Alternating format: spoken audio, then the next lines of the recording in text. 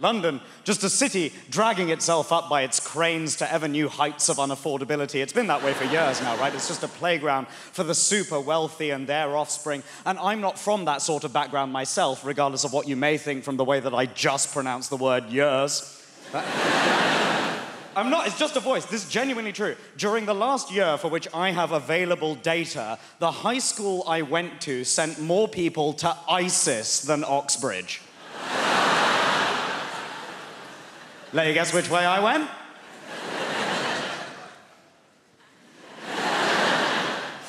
Pleasure to be here. Allahu Akbar. Lock the doors.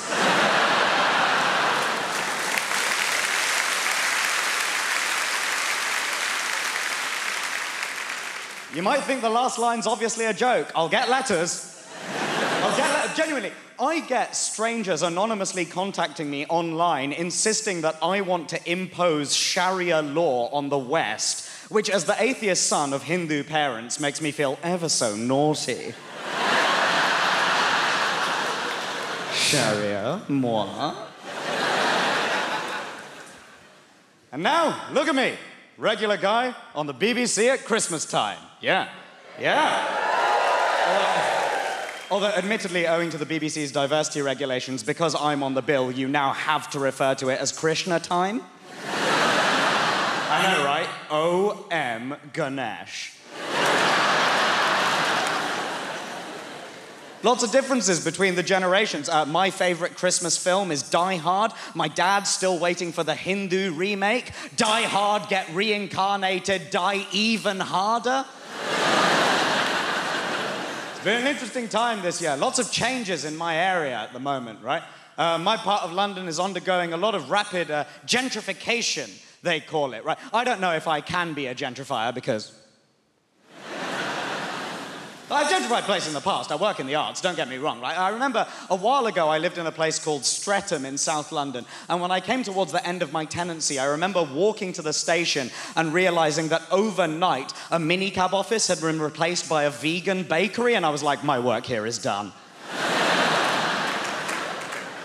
it's different from the way that it used to be, you know? When my grandparents came to this country, my grandparents came to this country with nothing, and yet they were able to start a family here, they were able to build a life for them, they were able to own property, largely because they drove down house prices in every neighborhood they went to, but they were able. property. It's not like that anymore for the different generations, right? So, what do the young people do? You wait, you're probably watching this at home, all the generations together at last at Krishna time. All of the young people waiting for a grandparent to cough and hoping that that's what's finally going to get them on the property ladder. the problem is, as with any kind of inequality, with intergenerational inequality, the deck is stacked and we pretend it's a question of priorities that's made outcomes not identical, right? The number of times that I've heard, oh, you're worried you'll never get on the housing ladder, but you'll spend three pounds on one of your fancy coffees, yeah? Yeah, oh, yeah, well, you'll never get a little flat, but you'll spend three pounds on one of your fancy coffees. Bruv, that's because you bought all the three pound houses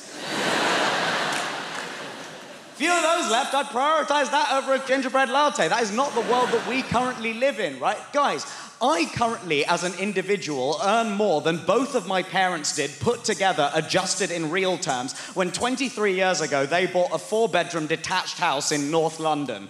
The problem is my fondness for brunch.